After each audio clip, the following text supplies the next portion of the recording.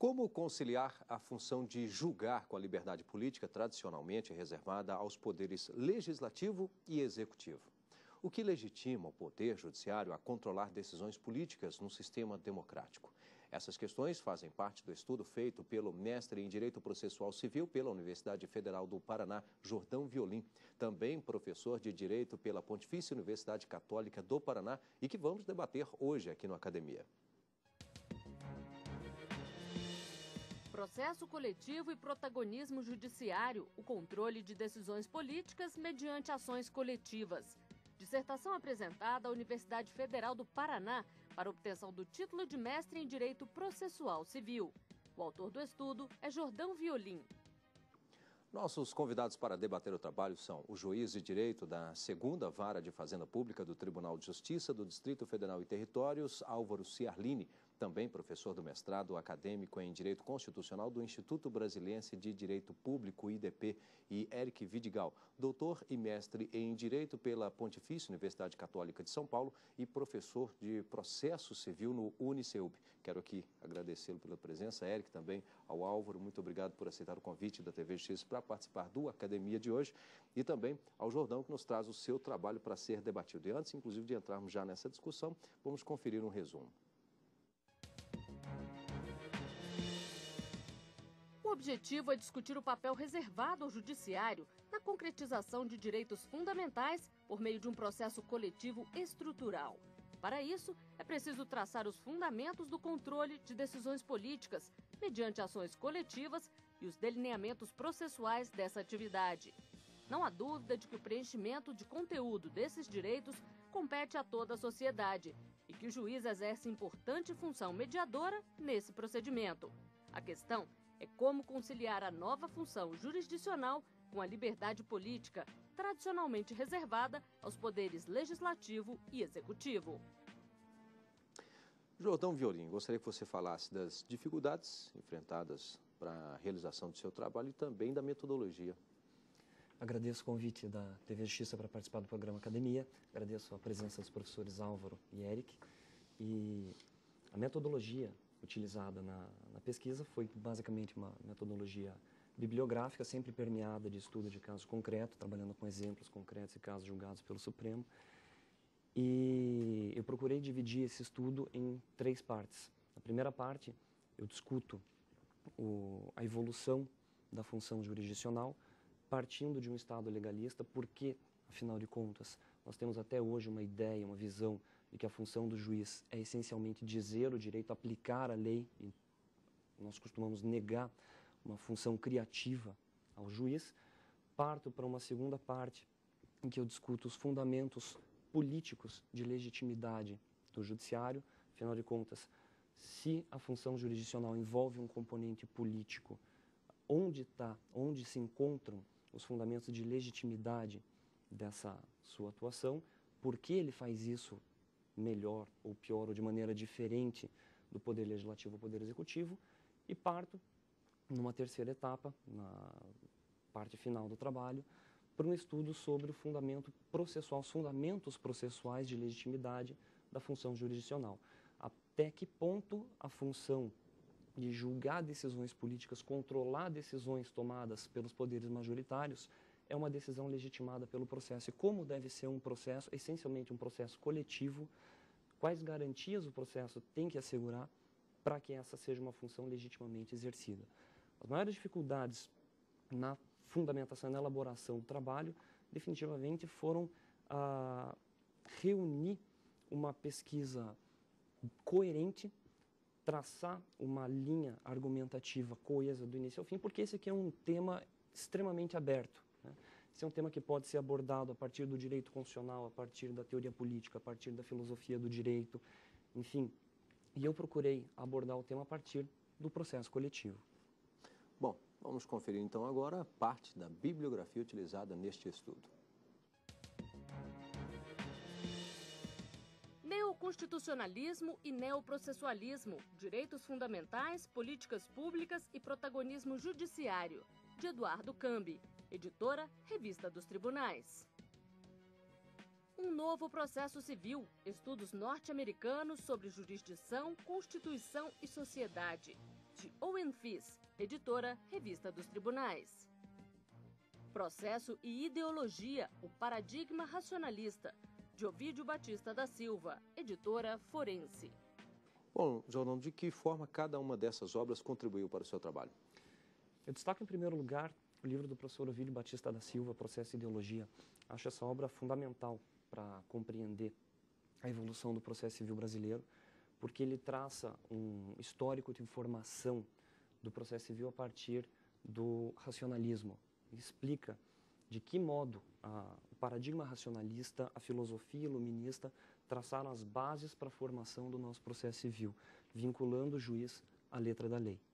Em segundo lugar, destaco o livro do professor Eduardo Cambi, Neoconstitucionalismo e Neoprocessualismo, porque ele parte da construção, da, ou melhor, ele parte da compreensão da, do processo civil a partir do neoconstitucionalismo. Ou seja, ao invés de se compreender o processo civil a partir de regras, a partir de regras essencialmente processuais, compreende-se o processo civil a partir dos valores constitucionais.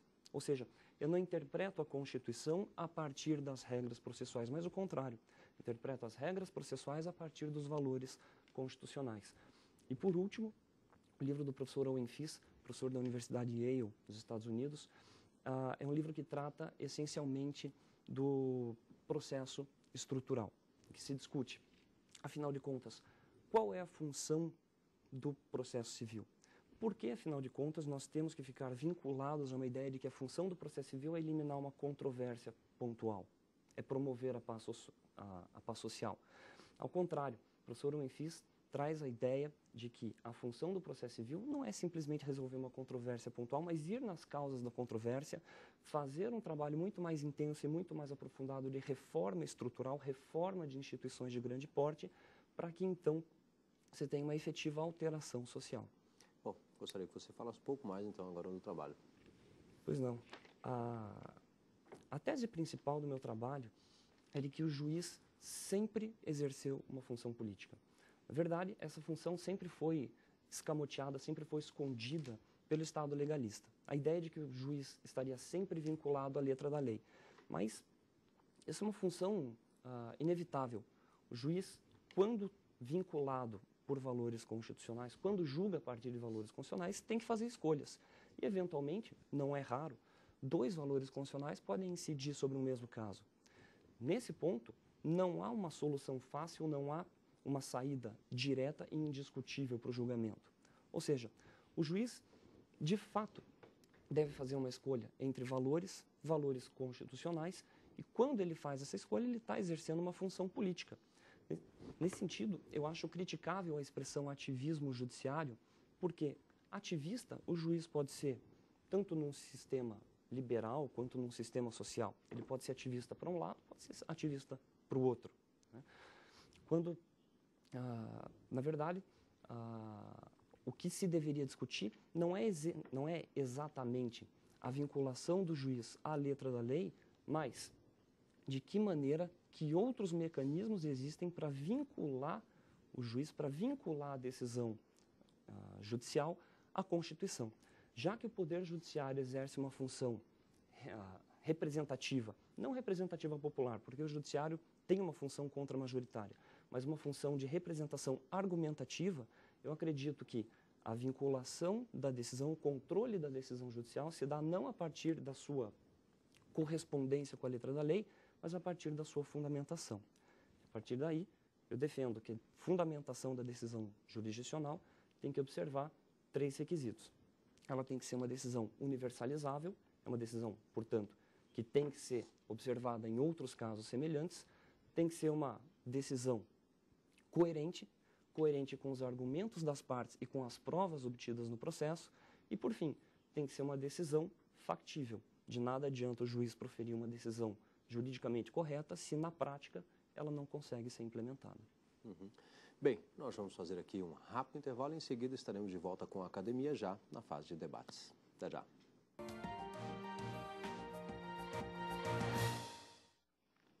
Estamos de volta com o Academia, hoje debatendo a dissertação de mestrado de Jordão Violim, processo coletivo e protagonismo judiciário, ou controle de decisões políticas mediante ações coletivas. Vamos conferir agora as teses e dissertações que estão disponíveis no mercado editorial.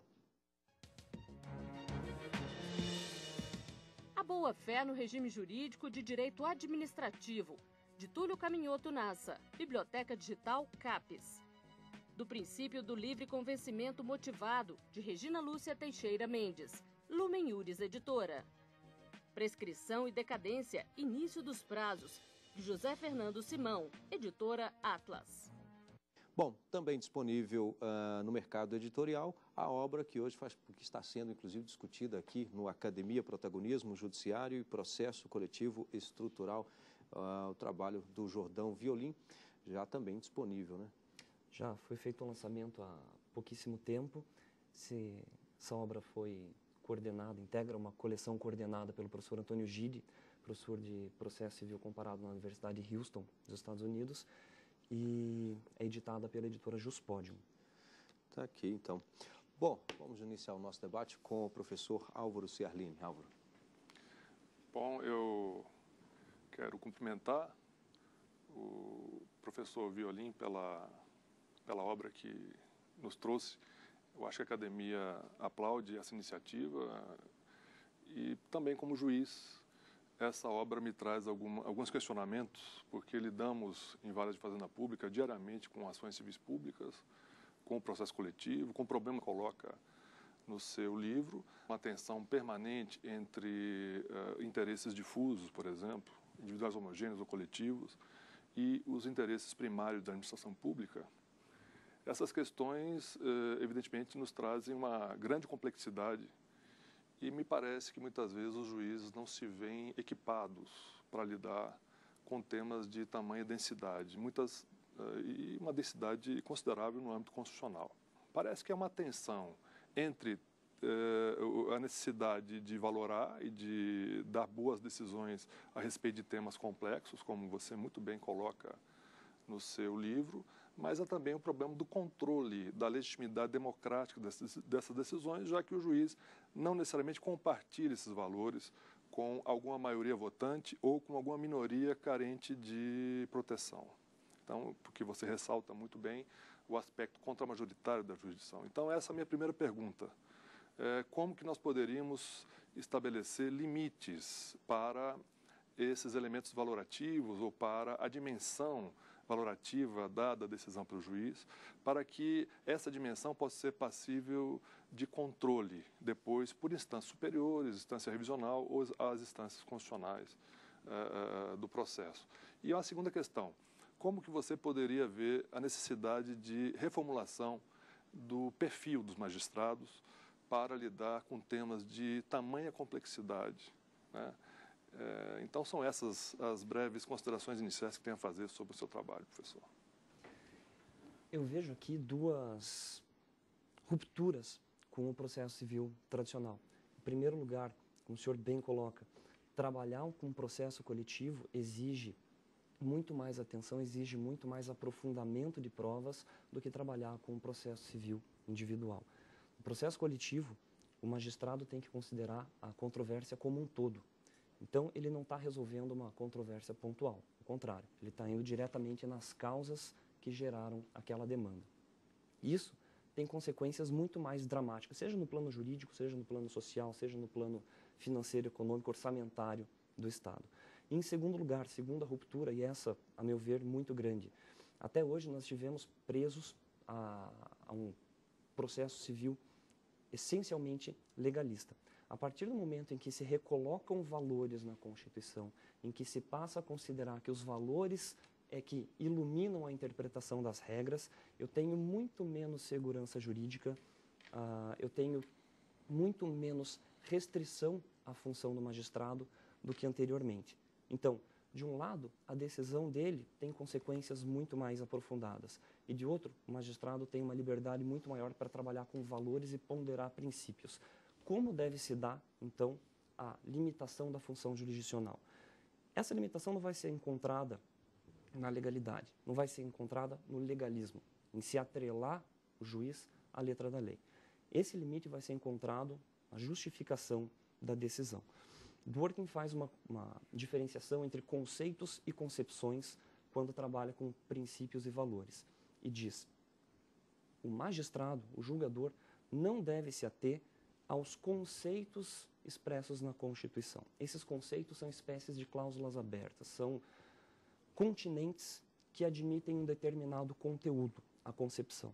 A concepção a respeito de um direito, essa sim é variável no tempo e tem que ser variável no tempo. A nossa Constituição trabalha com diversas cláusulas abertas. Eu dou um exemplo bastante singelo aqui. Ninguém será submetido a tratamento desumano ou degradante. O que é, afinal de contas, tratamento desumano ou degradante? Não me parece que nosso, a nossa concepção de tratamento desumano ou degradante deva ser restrita, ah, deve ser, essa concepção deve ser restrita à concepção que o nosso Constituinte em 88 tinha. Porque, afinal de contas, uma hora ela vai ficar desatualizada. O que foi desumano no passado pode, ah, eu vou refazer, o que não foi desumano no passado pode se tornar desumano ou degradante no futuro há uma evolução nesses conceitos. Então, na minha opinião, o controle sobre a decisão do magistrado vai incidir sobre a fundamentação. E note, dizer que o magistrado não está sujeito a controle popular não equivale a dizer que ele está isento de controle. O controle é feito pelas instâncias superiores e deve incidir, de fato, sobre a motivação. Uma motivação que deva ser universalizável, que deva ser ah, pragmática, uma, ah, uma fundamentação que deva ser coerente com as argumentações das partes. E se é a argumentação das partes que provoca o magistrado, então é possível afirmar que, de certa maneira, ele está restrito a uma espécie de controle popular, porque é isso que o legitimado coletivo faz. Ele é um representante de um grupo, um grupo que pode ser identificável ou não, né, individualizável ou não. A partir do momento em que o grupo provoca o magistrado, já estabelece os limites da demanda. Então, a atuação do juiz vai estar limitada não só pelos argumentos, mas também pelas provas produzidas pelas partes, e, enfim, por essa razão universalizável, por essa razão justificável, por essa razão coerente. Professor Eric. Bom, é, inicialmente gostaria de parabenizar o professor Jordão pela pelo fôlego acadêmico do trabalho. Né? Eu realmente eu, eu endosso as palavras colocadas aqui pelo professor Álvaro Ciarline. É, agora, eu, eu vou... Eu, eu acompanhei a tua, a tua, resposta, as indagações do professor Álvaro, mas eu, eu, eu vou insistir um pouco na questão da limitação. Né? A gente...